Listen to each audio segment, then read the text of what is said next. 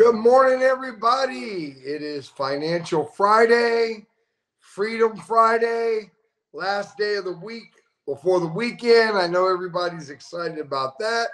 I'm excited this week because I'm going to Alabama uh, today with my son. He's going to be fighting in a national jiu-jitsu tournament, so I'm excited about that uh, in um, Mobile, Alabama. So that's going to be exciting for me. Uh, I'm excited for the broadcast this morning. I'm excited for what God is doing in your lives, and I'm especially excited for what God is doing relative to your finances. Now, I want to give you a caution this morning. I want to give everybody an offense caution this morning. Today, I'm going to be talking to mature Christians. So if you're not a mature person uh, in Christ, you might want to drop off today. This is Financial Friday come back on a Tuesday for marriage or Wednesday or prayer Thursday, come back for marketplace. Today we're talking about our money. Uh, today's about finances. Today's about resources, how we increase in resources so the kingdom of God can increase in resources. So I love you guys. So let me give some shout outs. Good morning to Alma. Uh, good morning to uh, Yahshua. Uh, uh, uh, and I believe he's in Pakistan. God bless you, Pastor.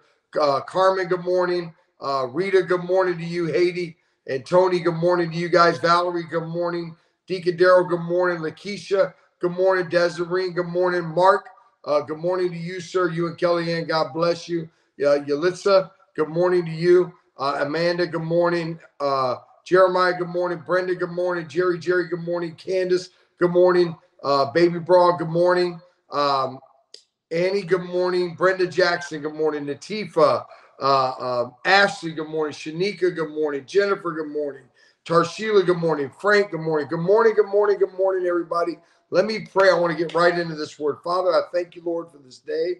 I thank you, Father, for your word. I thank you, Father, for the heart of everyone that's on this broadcast. I thank you, Lord, that they have a heart for God, Father. I thank you, Lord, that they are serving God, that they're sowing into the kingdom, Father, that they're trusting and operating by faith in your word to see their lives be in a perpetual state of increase through faith in the seed that they've sown, in the seed of Jesus, in the blood of Jesus, the incorruptible seed of the word of God. I thank you, Father, for it right now. It's in the name of Jesus I pray. Amen. Madeline, good morning. Charles, good morning. Good morning, good morning, good morning, everybody. So today is Financial Friday. Today is Financial Friday. And I want you to understand today, as we get into Financial Friday, we are talking about money. If money still offends you, if it still offends you that a preacher talks about money or the church talks about money, today might not be a good day for you to be on. I believe it is the will of God for every born again believer to increase and prosper in every area of their life, including money. It's great to have a good marriage. It's great to have prospering kids. It's great to have all those things, but God wants us financially blessed as well. Why? Because the kingdom of God, it takes resources, it takes money to do the work of ministry whatever ministry, what I mean, whatever vision God has given a ministry, it is going to take financial resources to bring that vision to pass. If God gave a ministry, a vision to a pastor to feed the hungry, it's going to take money to feed those people. If God gave uh, a man of God the, the, the vision to teach the gospel with simplicity and understanding and, and have life centers and teach people how to transform their lives through the word of God. It's going to take money to get that message out and to put that program together and to do all the things it's going to take so that people can now come. The Bible says, come and drink, for it is free. People are going to come, and when they come, they got to begin to become transformed. It's going to take money. I wrote a thing on Facebook yesterday, and I want to read it to you because it's a it's an incredible thing that I see all the time in the body of Christ. And I said this, why is it that only Christians feel like it's okay to make a minimum deposit but ask for and expect a maximum withdrawal because from God. And then I said, is it because of his love?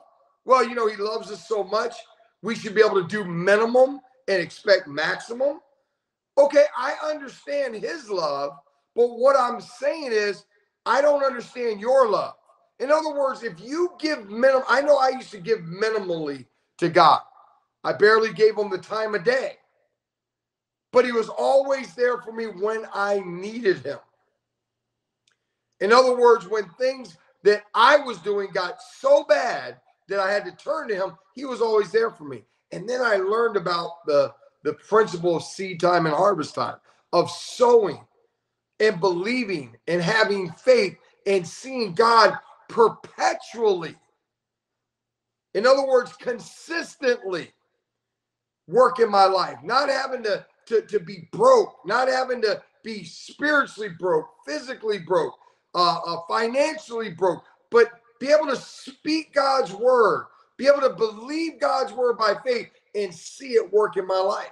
In the book of Genesis, chapter 1, verse 11, Genesis chapter 1, verse 11, it says in the Amplified, and God said, Let the earth put forth tender vegetation, plants yielding seed, and fruit trees yielding fruit, whose seed is in itself, each according to its own kind upon the earth. And it was so. It's always amazing to me how Christians want to sow time they want to sow this, they want to sow that, but they're looking to reap a financial harvest. I see this all around the world with many ministries that try to connect with me. They're always writing me and sending me, Pastor, we're doing this. Will you help us? Pastor, we're doing this. Will you help us? Pastor, we're doing this. Will you help us? You guys have no idea how many people reach out to me as a man of God. I'm talking about pastors for help, financial help. You don't know the list of them, it's hundreds. But you know what's very interesting? I've never had one of them send a seed. I've never had one of them sow a seed. Not one. Not one. You know, when we first started our ministry, 90% of everything we brought in, we sowed. We did it in the reverse. We still, we're still a tithing ministry. We still give. Actually, I believe we give more than we we use. I I, I got to check the records again. But we we've always been a giving ministry. But in the very beginning, for every dollar we took in, we sowed 90% of it. We did the reverse. Our ministry is never in the eight years it's been in existence or whatever, we've never lacked for anything. Anything. We've always prayed by faith, believe God, trusted God. We sow a seed. We do the same thing we ask you to do. We sow a seed, we believe God, and we expect a harvest. I'm going to sow a seed today. Amen. I, I got a seed I'm going to sow today. We've been sowing seed all week. We sow seed. We sow our good seed in good ground. We're always sowing. We're always believing more. It's amazing to me how Christians get blessed. This is for the Christians that have money, not the ones that don't have money right now. They get to a certain level and then they think they don't have to give no more. They don't have to tithe no more. They get to a certain level and they think, I don't have to sow first fruits no more. You'll be surprised. But when they're coming up, when they're coming up and they're believing God for a harvest and they want to get somewhere financially, Boy, they'll sow their first fruits, they sow their tithes faithfully. But then they get to a certain level, or they get to a point where something happens in their life and they feel they can't sow like that no more because of an event that's happened in your life. Let me tell you something. If you allow an event that happens in your life to stop you from sowing into the kingdom of God, you will have events happening in your life financially for the rest of your life. Because until you prove to the devil, not to God, that you're willing to sow through what you see, the devil will continue to allow you to see more than your seed can ever produce. Oh, yes, the test, the trial that comes is for the proving of your faith, not God's faith. Amen. Oh yeah, we, we forget all kind of things. Well, when we had minimum wage jobs, we sowed first fruits. Now we're making a hundred thousand dollars a year. We don't sow first fruits no more. We, we don't tithe no more. We, you know, when we get the hundred thousand dollar commission check, we don't tithe on that. We don't do that no more, or, or don't even tithe on it at all no more. This is what we do. Christians expect a minimum deposit, but a maximum return. Lord, heal me of this. Lord, do this. They want to believe God for everything. I'm not trying to put anybody in condemnation. I'm just trying to tell you that when you know you're robbing God, you know it. You'll never have the faith to believe God by faith to, for all the other things you're believing for. You just won't. Why? Because he says our money is the is the minimum thing. Let me show it to you in the Bible. Mark chapter 10, verse 17 to 27. Mark 10, 17 to 27 in the Amplified. It says, and he was sitting out, setting out for his journey, and a man ran up to him and knelt before him and asked, Teacher, you are essential, you are essentially and perfectly moral, good. What must I do to inherit life? That is to partake in eternal salvation in the Messiah's kingdom. And Jesus said unto him, Why do you call me uh, uh, essentially and perfectly moral? Good. There is no one perfectly moral or good except God alone. He says, You know the he says, You know the commandments do not steal, do not commit adultery, do not uh, uh, bear false witnesses, do not defraud, honor your mother and father, the moral commandments. And by the way, those didn't go away with grace. Grace doesn't uh, eliminate our morality. We still should be good moral stewards. Okay? Verse 20 says, And he replied to him, Teacher, I have carefully guarded and observed all these and taken care to not violate any of them from my boyhood. Verse 21 And Jesus, looking upon him, loved him and said to him, You lack one thing. He says, Go and sell all that you have and give the money to the poor, and you shall have treasure in heaven, and come and accompany me. Walk with me on the same road. Watch this. Verse 22 At that saying, the man's countenance fell, and it was gloomy.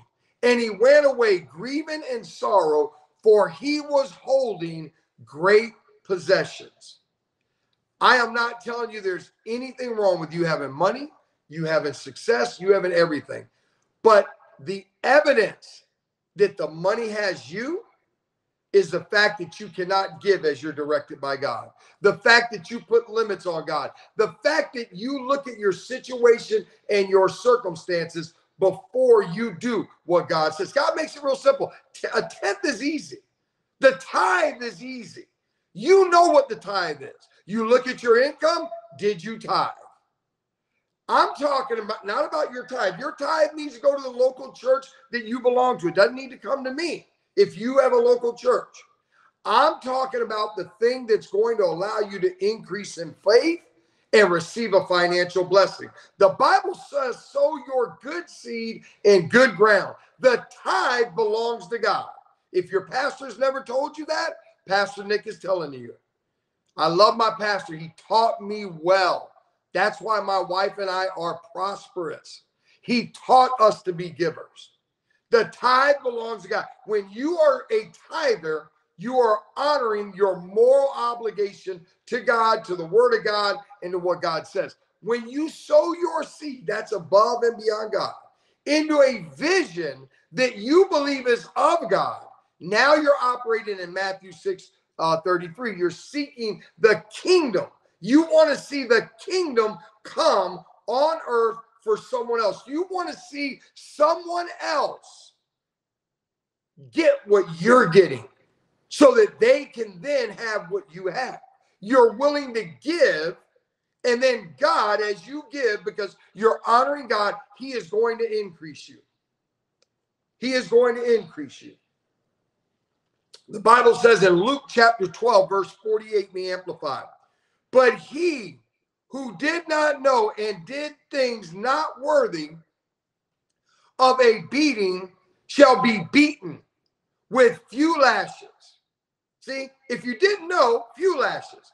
But for everyone whom whom much is given, of him shall much be required. And of him to whom men entrust much, they will require and demand all the more. The Bible says where much is given, much is required. So wherever you are that God has brought you to, that God has increased you to, that's much. It's more than you thought. Now, much more is going to be required of you so that God can get you to the next level. Remember, giving in the kingdom of God is about you demonstrating to yourself that you trust God with your money and that you can be trusted with money. Again, I'm going to say it. I see ministries all over the world struggling. I guarantee you, if you do a accounting of a ministry that's always begging, I guarantee you that ministry has not sown upward. You, as a ministry, we, our church, sows upward. We sow upward. We sow upward to ministries that are greater than ours to receive a downward blessing. We sow upward. We sow consistently upward, and our ministry receives the blessing. It's the same principle. My wife and I, we personally sow upward and we believe God for the downward blessing. We sow a division that we believe, and God blesses us. The same principle works for everybody. And you can't stop sowing when times get tough. You can't stop sowing when you think you've given enough. You can't stop sowing when you you don't feel like it no more because you cut your harvest off. So I just want to encourage you today. Start where you're at. Believe God. Make a decision today. Rededicate relative to your giving. Maybe you slacked up. Rededicate. Lord, I'm going to refocus. I know this is what I need to be doing. I'm going to do what I know I've been taught to do. And I'm going to begin to believe you again. I'm going to begin to trust you again. I'm going to begin to have faith in you again. A lot of you guys have been consistently sowing and consistently giving right here in this ministry. So now it's time for you to start believing God by faith for what you sow so that God will increase you. And as He brings more, you can sow more. You can sow again. That's the purpose. So it takes a heart to give, not paying attention to what you see, but doing what God said. Number one, you know what the tithe is. It's simple. Stop playing with yourself. Stop playing with your mind. Then, after you sow your tithe, get a seed together. Get a seed. And let me tell you something when your tithe is a great tithe, that's the time to sow a great seed. Amen. That's the time to sow those big offerings. Amen. So I'm just encouraging you, you today to trust God. As for our ministry, go to www.ltmorlando.com org forward slash give. Today is our giving day.